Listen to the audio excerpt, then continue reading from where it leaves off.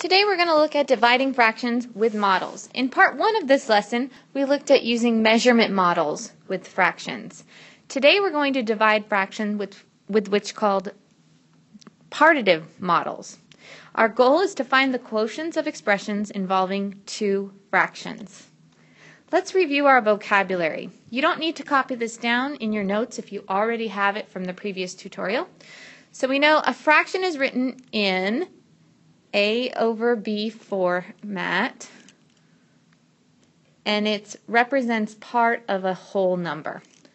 A quotient is the answer to a division problem and the reciprocal, those are two non-zero numbers whose product is 1.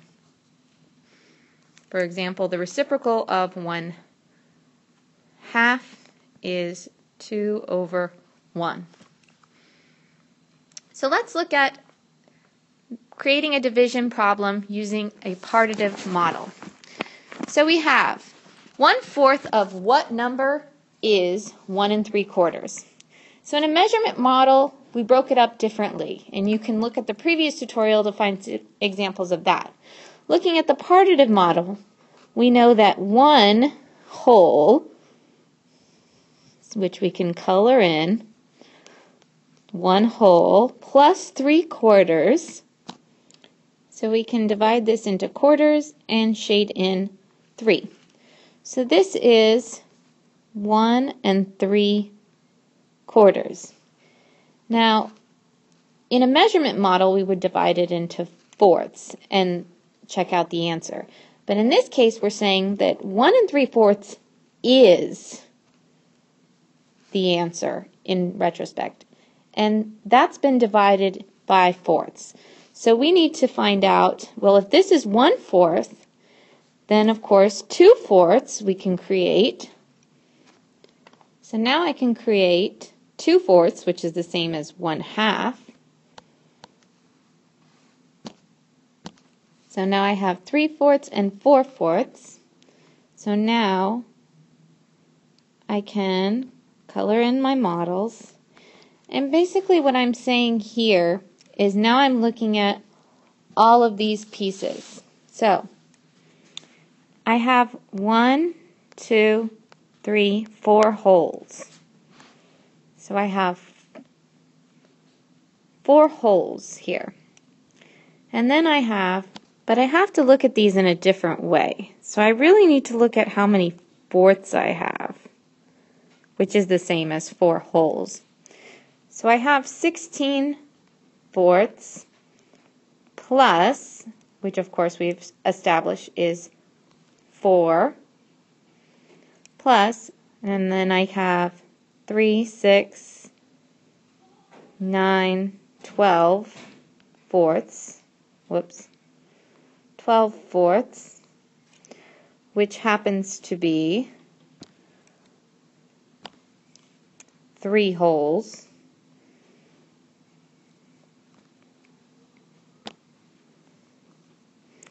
So I have four wholes plus three wholes, which gives me seven whole numbers. So that's looking at the division in a different way.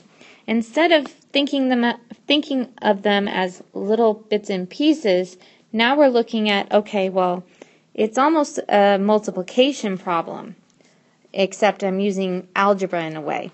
Another way of wording it is saying one fourth of what number just means times a number, and I would use a variable of n or x, is 1 and 3 quarters. And this partitive model may not make the most sense to you now, but it actually will help you when we get into more algebraic expressions later on. So again, we have our 1 fourth representation. So we, of course, if that's divided into 1 fourth, we can see how we can change our division problem into 7 wholes. Let's look at another example. So we have 1 eighth of a number is 1 fourth. 1 eighth of a number is 1 fourth, which is a, another way of saying 1 fourth divided by 1 eighth is what? So first we need to, of course, figure out 1 fourth. We're going to start with our first. Well, we have half and we have quarters. So I have 1 fourth here. So now I can divide it into eighths. And I can see how many pieces I have. So if one fourth is my whole, how many when I divide it into eighths? Well, I can see that I have two wholes in this case. A good question to ask you is how many fourths do I have? So this should not be confused with a multiplication problem when we're just dividing it. In fact, I should have just duplicated the example like I did in the previous one, and you would have noticed that I have 2. But again, it's not 2 fourths in this case, it's two whole pieces. We're going to look at one final example. So we have 1 half of what number is 1 16th, which just means 1 16th divided by 1 half. This is a problem that you're going to do on your own.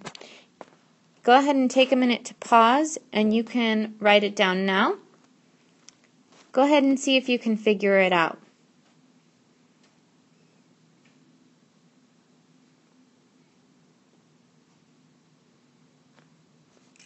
Now let's look at another example. One half of what number is one eighth?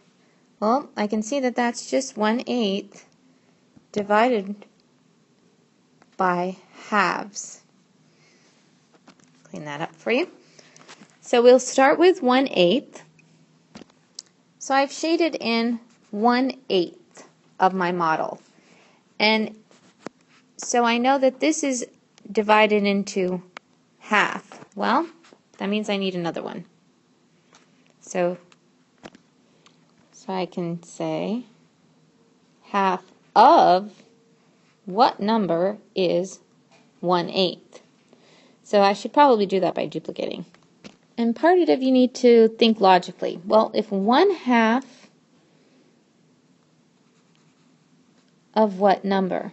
Well, we can see that if instead of being eighths, these were fourths, we would have 2. So we would have 2 fourths. Let me divide that into fourths more clearly. So we have one, two, three, four pieces of the whole. So that gives us two eighths. Because and we can see that that would shade in one quarter. And I know that partitive models often sound like the opposite way of looking at things, but when you get into unit rate, they actually make more sense.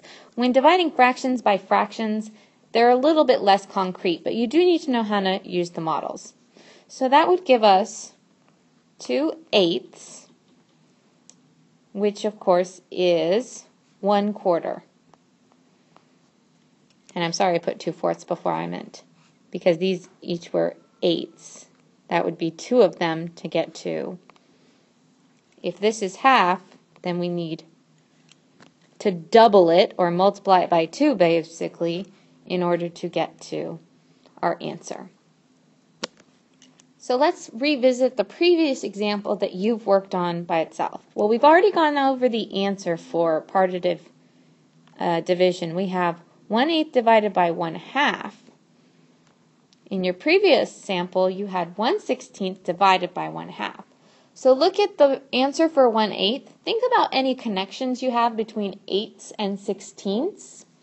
You're dividing by 1 half, so think about how your answer might change, but how it might not be too different from your previous one. Notice any patterns and make sure that those are things that you put in your questions, main ideas, and keys go ahead and take a minute to look over your notes. I've left the one that you did on your own blank because, of course, I want you to try working that out on your own. Go ahead and make sure that your notes have all the information you need. Your models may look slightly different, your drawings may be slightly different, but the content should be the same.